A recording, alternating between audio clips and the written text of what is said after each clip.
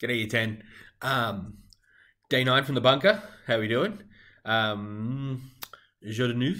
Uh, new? Oh, whatever. Who knows? Um, we'll get there. Our French will improve the longer we're underground because that's what the French do in a time of crisis. Vive la résistance! Um, okay, so we went and supported some small business today. Oh, that's Bill's Beans. Look after them. They're good people, especially if you're in Orange. Um, uh, again, as before, you are basically continuing along with your work, and I'm going to help you out as we go. Ask questions.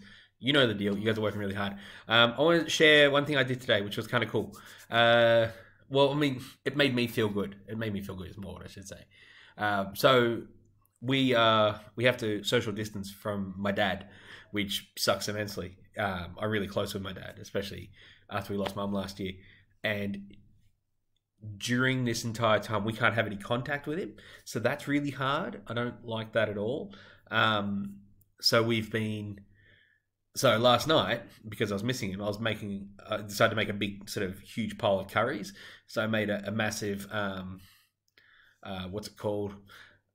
A massive madras and a massive red Thai and i ended up um, leaving putting some of those in a container. It's not the same container, um, but putting some of those in containers and putting them out the front doorstep last night because Dad drives through here at like, you know, uh, eight in the morning. Sometimes on a Tuesday it's eight in the mornings. Usually it's like three in the morning or four in the morning, but he runs different times on Tuesday.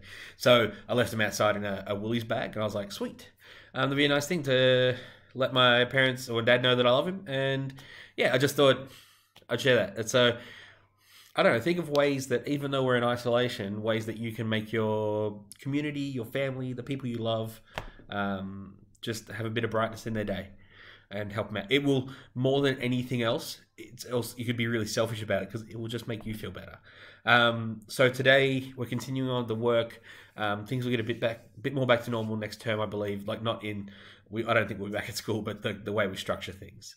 So yeah, well done, team, and we'll see you later. Bye.